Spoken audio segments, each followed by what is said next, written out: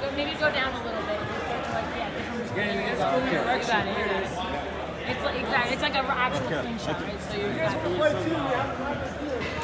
Some damage around here.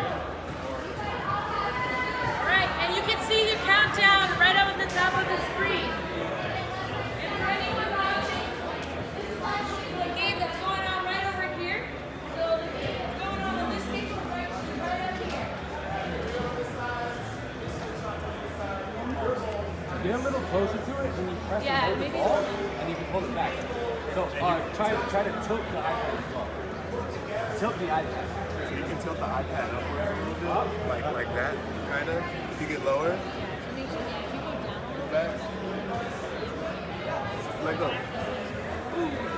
There you go. Almost. So close. Both slingshots are still up. Keeping this